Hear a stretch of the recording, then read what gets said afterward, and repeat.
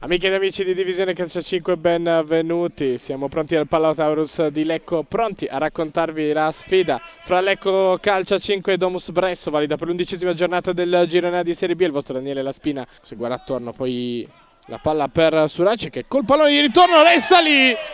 Il pallone rapace. Dragone mette a segno il primo gol di questa partita. In realtà credo l'intenzione fosse premiare un inserimento di Seggio invece dall'altra parte, ribaltamento di fronte, arriva il raddoppio di Luigi Marrone. Muoia, la conclusione di potenza, traiettoria che inganna Zamburlin ed è il 2 a 1 di Lecco.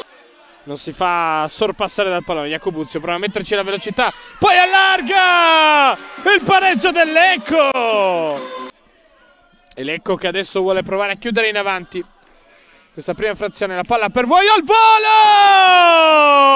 volo! Incredibile, ancora lui! E che gran gol di Walter Muoio stavolta! Lecco che vuole provare invece a continuare il filo mm, non interrotto nelle ultime partite, la vittoria di Chiavari e poi il successo anche con Bergamo. Occhio però al contropiede, Sasso riesce a servire Marrone che arqua la traiettoria e tre pari al Palatauros. Sasso prova a far da solo, allarga adesso per il gol, eccolo qui, di Matteo Di Biasi. Eccolo qua, Surace, appena entrato, liberato, si perde il pallone, la riesce a accomodare però a Sasso. Ancora va da Surace che prova a mettere il pallone in mezzo, respinto. Surace ancora per Di Biasi che mette dentro il tapin del 3 a 5. 3 a 5 finisce con uh, la rimonta firmata Muoio Jacobuzio che non serve, non basta. Siamo qui con uh, Matteo Di Biasio. Matteo, allora una gran partita, due gol, ma soprattutto una vittoria importante in una sfida che era insidiosa per voi. Sì, è stata una partita combattuta. Il primo tempo siamo andati in difficoltà, comunque eravamo in vantaggio, poi abbiamo fatto un po' di fatica. Siamo entrati bene dallo spogliatoio e alla fine abbiamo portato a casa i tre punti che sono fondamentali per il nostro cammino. Detto siete cresciuti forse sulla distanza, avete fatto un buon avvio, poi vi siete un po' persi nella ripresa, però siete tornati e soprattutto hai trovato due gol direi fondamentali.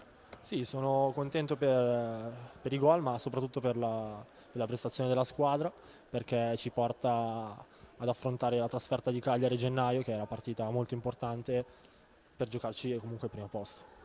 Allora, grazie mille, in bocca al lupo. Grazie, arrivederci. Siamo qui con uh, Mister Marquez, allora una sconfitta che indubbiamente fa male anche per come è arrivata.